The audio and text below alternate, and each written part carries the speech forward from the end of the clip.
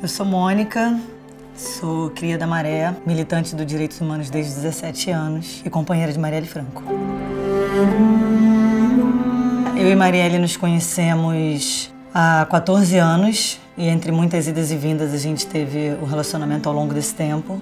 A gente tinha uma certa resistência a tornar o relacionamento público, mas ela era muito maravilhosa com isso, essas coisas de demonstração de afeto. Por ela tinha fotinho todos os dias.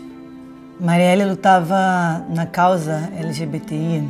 Eu acho que a maior expressão dessas, para além da, da questão do parlamento, era a divulgação da vida pública dela, que era não esconder o relacionamento que a gente tinha, que era reforçar que isso era um amor que era legítimo, que era feliz, que as nossas famílias existem. Eu acho que essa era a principal forma dela lutar dentro dessa causa. Então era todo dia, era um dia de levantar e dia de resistência, porque a gente tinha que ficar autoafirmando que esse amor é legítimo e que a gente não vai deixar de amar porque está dentro de um contexto social onde parte das pessoas não acreditam que esse amor seja legítimo.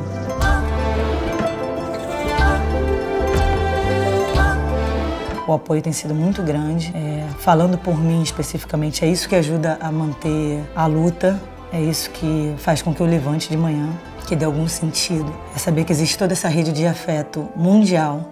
Então, toda manifestação de carinho, toda manifestação de afeto está se mobilizando, está cobrando justiça, está pressionando as investigações, mas, sobretudo, lutando para que não haja mais Marielles, eu acho fundamental.